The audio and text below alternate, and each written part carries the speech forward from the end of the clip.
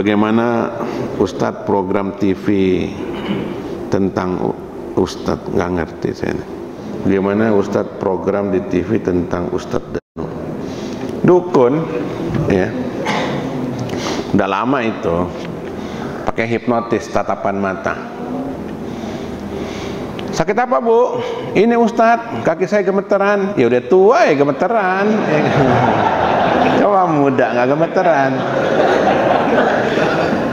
Bawa suaminya bu, bawa minta maaf. Eh tiba-tiba baik habis minta maaf. Itu hipnotis. Semua orang yang datang ke dukun, perangkap 100 meter itu sudah kena pengaruh hipnotis. Makanya orang depan dukun itu minta apa saja dia siap. Wah apa ini penyakit bapak berat nih. 100 juta siap gak pak? Siap pak. Gitu. Itu kena pengaruh hipnotis. Gitu.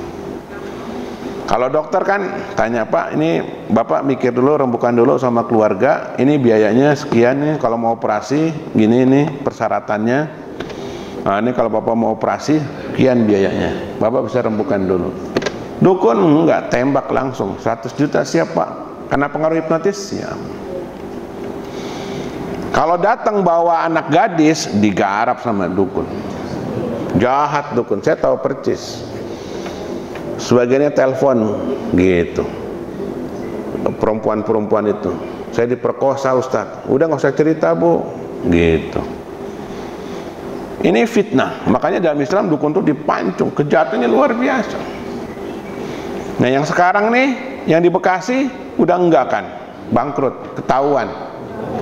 Oh, oh. nyalek malah. Ih, nyalek Ih. Ke mana tuh dia tuh? Yang sehari dulu seribu pasiennya. Bohong, hipnotis. Orang tuh memang datang ke dukun baik. Kenapa? Hipnotis. Nanti sihir hipnotisnya hilang seminggu atau berapa hari. Ngejengker lagi di rumahnya. Oh, sakit lagi. Telepon. Uh, mbah, sakit lagi nih. Transfer dulu duitnya. Ntar saya kirim dari jarak jauh ininya obatnya. Itu bohong. Hargailah dunia dunia medis itu. Kan saya ngajar juga di RSCM itu.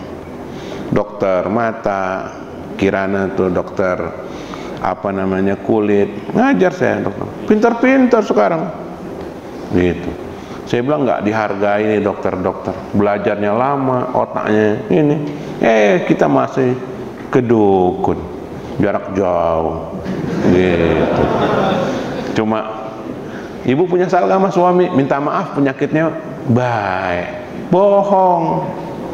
Gitu. Pret.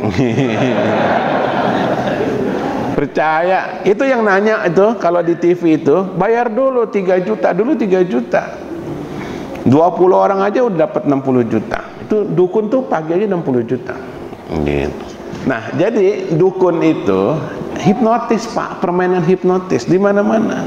Emang dia sembuh. Kelihatan sehat. Ketemu dukunnya aja orang sehat di tatap matanya. Makanya kemarin kebongkar kan yang cabul itu. Ya. Ustadz gempa bumi gitu. Emang semua dukun tuh cabul. Maaf ya kalau kasar ya. Apa yang halusnya cabul apa? ya? Bukan apa, apa namanya pelecehan ya pelecehan itu semua dukun begitu fitnahnya begitu dia. Pasien perempuan cakep habis sudah digarap. Dihipnotis tuh perempuannya juga mau. Maka benarlah Islam dipenggal lehernya. Terlalu banyak kejahatannya. Dan gak terbongkar orang takut melaporkannya. Takut disantet lah apalah dan seterusnya. Jahat pak, perdukunan itu jahat.